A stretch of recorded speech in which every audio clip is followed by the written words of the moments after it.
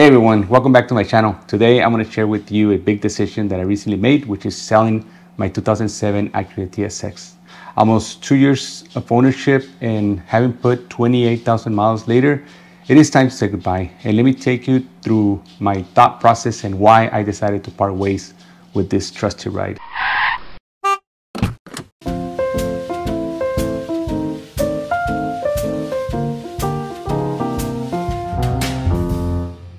But first, I think I'm going to link this video to my for sale postings that I have on uh, OfferUp and AutoTrader. So let me give you a quick walk around of the car to show you stuff in detail for those of you that are here that came from those websites. Okay, let's do this walk around real quick because it's super hot out here.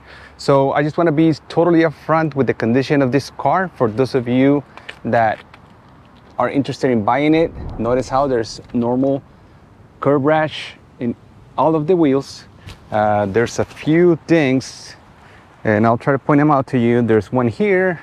Uh, let's keep looking. These scratches that you might have seen in other of my videos. This right here. There's like a superficial scratch right here. And then this dent is a little newer, so the body's straight, but you know, the paint is damaged. Minor curb rash right here.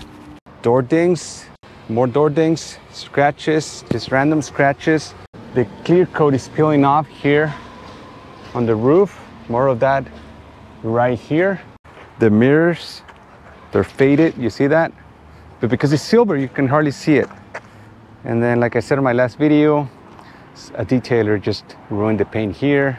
More scratches, the other mirror, and then this trim needs repainting here the weather strips are there, so everything is in working order. The bumper is a little misaligned. I've taken it off once to replace these headlights and fear not, these headlights were only replaced because I wanted to get these brand new Acura OEM headlights, but this car has never been involved in a collision or anything. But just know that there's some misalignment here. Uh, you know, little damage there from the license plate frame right here. And I'm just being like super critical of this car because that's how I am with my cars. At the same time, keep in mind that this is a 20 year old vehicle. Notice this right here. I've never seen this one actually. Um, the interior, let's go over real quick. The seats, no rips. There's this minor peeling right here. I could have painted it black, you could hardly see it, but I'm just being totally upfront with this. The carpet is clean. I mean, I still got a vacuum right? So if you were to buy this, I'll give it to you freshly vacuumed. Those mats are new. I mean, I've had them for, what, year and a half now? Um, the seats are not ripped, same thing. This minor thing right here, it can only grow later, right? But other than that, this car is in really, really good shape. Everything works in the car and being up front with it, there's a Bluetooth module right here that I disconnected because a common issue with this car or with this era of cars is that the uh, Bluetooth module starts draining the battery. And when I had issues with the car, I thought that it was the problem and it wasn't, but I left it disconnected because it's, it's an obsolete feature because you cannot listen to radio through Bluetooth. It's only for phone calls. Um, so it never bothered me. I never missed it. It's still disconnected and let's go over the engine just to show you how clean it is. So as you can see this engine is completely dry. No leaks nothing.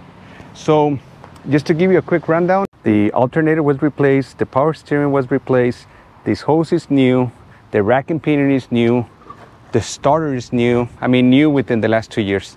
And then this battery as well. Is from december of 2022 uh, other than that just notice how the engine is super dry so that is a good thing. Oh, and let me show you that crack on the dash. If you're familiar with this era of TSXs, this is a very common issue. Uh, where is it? Right here.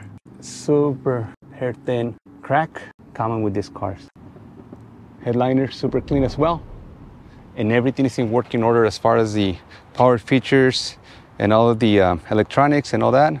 Uh, the uh, heated seats still work. The power seats still work. Everything is in working order. The tread, let me show you the tread. really healthy tread of the tires still. Thank you for watching. Let's continue with this video. When I bought this car, it had 217,000 miles, but it was supposed to be a temporary car for me, but I ended up keeping it for almost two years. I know that I have a pattern of not keeping cars for long, but in this particular case, I never intended to keep this car for as long as I did. This is actually the first time that I've had a second vehicle. Obviously, my wife has her own car, but the TSX is mostly driven by me as well as the E30. So I'm down to three cars for two drivers.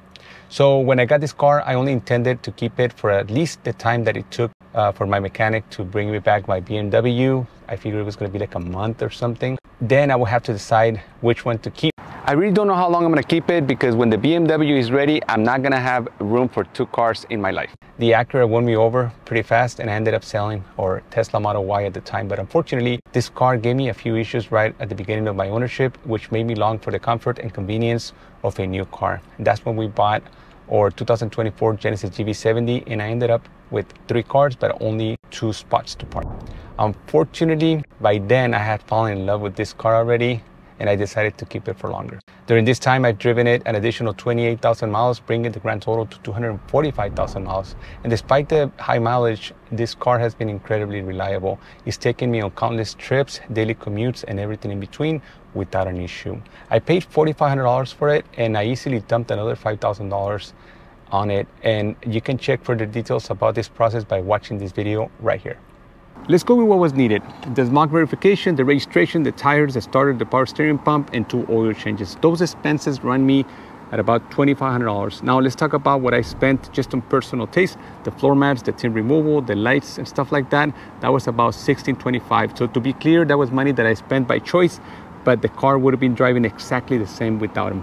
And now money spent for being dumb a battery and an alternator that was 395 almost $400 and i'm sure i'm forgetting something and um, I suspect that my math could be wrong, but at the end of the day, I spent almost $9,000 on this seemingly cheap luxury car.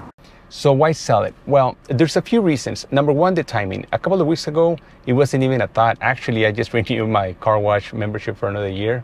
And um, I, when I made my last video, I said that I was finally gonna get it painted.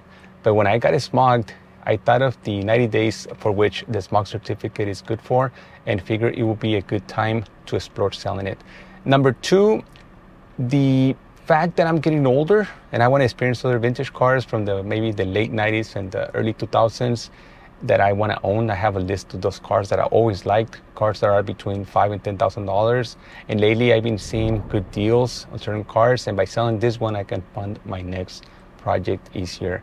I can mention a few, for example, the uh, MR2 Spyder, uh, Lexus IS300 from the early 2000s. Those are hard to find in good shape for under $10,000, but even maybe a second generation Lexus GS300 or perhaps an E43, E46 M3 with a manual transmission and maybe closer to 20,000 a first generation Porsche Cayman. And number three, the resale value. Despite the high mileage, this TSX holds a good resale value. I know that you can find a TSX for a lot less than what I'm asking, but most of those examples have been beaten up pretty bad. And I understand that the high mileage may deter some people. I mean, it did deter me initially when I bought this one with 217,000 miles. I thought it was like at the end of its life cycle. But knowing what I've done to this car uh, to make sure that it that keeps continued that continues to be reliable um, has turned out to be a great experience. And I know that it has plenty of life left in it for the next owner.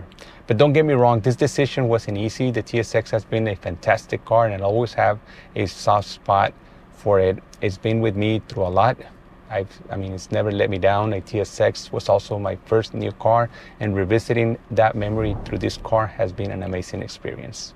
In the end, it was about making a practical decision for my current needs and future plans. I'm excited about what's next, but I'll always remember the good times with my TSX. Thank you for watching everybody. And if you enjoyed this video, don't forget to like, comment, and subscribe. And let me know in the comments, have you ever made a tough decision regarding a vehicle that you love, yet you have to sell? I'd love to hear from you. Let me know in the comments. See you next time.